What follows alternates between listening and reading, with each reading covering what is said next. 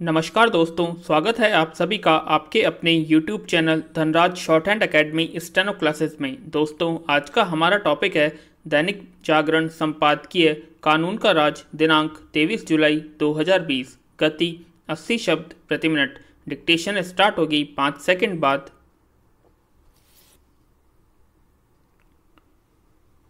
Start दुर्दात अपराधी विकास दुबे के हाथों आठ पुलिस कर्मियों के मारे जाने और फिर पुलिस मुठभेड़ में खुद उसकी मौत के मामले की सुनवाई करते हुए सुप्रीम कोर्ट ने संबंधित जाँच आयोग का नए सिरे से गठन कर दिया विराम।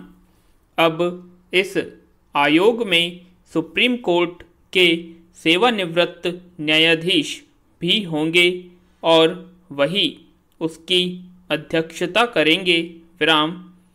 इस आयोग की ओर से इसकी भी जाँच की जाएगी कि आखिर 60 से अधिक आपराधिक मामलों का सामना करने के बाद भी विकास दुबे जमानत हासिल करने में कैसे समर्थ हो गया? प्रश्नवाचक। यह आयोग किसी भी नतीजे पर पहुँचे। यह किसी से छिपा नहीं कि ऐसे न जाने कितने कुख्यात अपराधी हैं जो विकास दुबे की तरह जमानत पाने या फिर पैरोल हासिल करने में समर्थ रहते हैं। विराम। क्या आवश्यकता इसकी नहीं कि उन कारणों की तह तक जाकर उनका निवारण किया जाए जिनके चलते ऐसा होता है? प्रश्नवाचक। ये कारण अबूझ अज्ञात नहीं है, विराम। सबको पता है कि अपराधी माफिया तत्व व्यवस्था की खामी का जमकर लाभ उठा रहे हैं। विराम।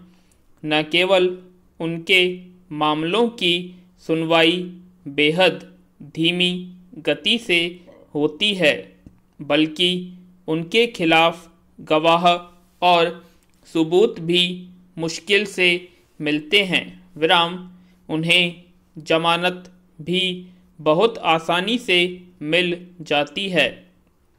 जब ऐसा होता है तो वे और अधिक दुस्साहसी हो जाते हैं ऐसे अपराधी या तो राजनीतिक संरक्षण हासिल कर लेते हैं या फिर खुद ही राजनीति में सक्रिय हो जाते हैं।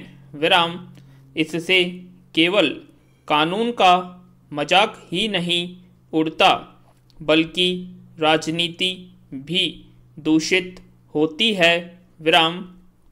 सबसे खतरनाक खराब बात यह होती है कि आम लोगों का कानून के राज के प्रति भरोसा डिगता है। विराम, पैरा।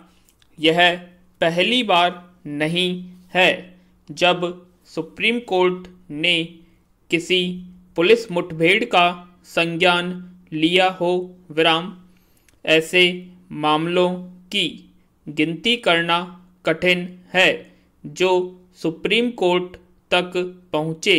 विराम, इसके बावजूद हालात जस के तस हैं, और कभी कभी तो ऐसा लगता है कि पहले के मुकाबले और ख़राब ही हो रहे हैं।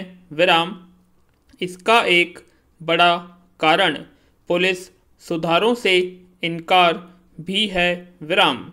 गाजियाबाद में गुंडों द्वारा एक पत्रकार की हत्या यही बताती है कि पुलिस की कार्यशैली से किस तरह अपराधी तत्व बेलगाम हो रहे हैं, प्रश्नवाचक चिन्ह।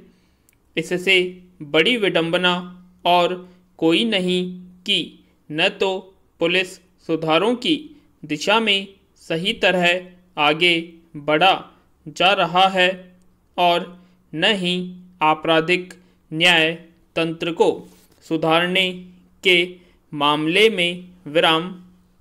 सुप्रीम कोर्ट इससे अनभिज्ञ नहीं हो सकता कि पुलिस सुधार संबंधी उसके आदेशों पर अमल नहीं हो सका है और अदालतों में तारीख पर तारीख का सिलसिला कायम है, विराम।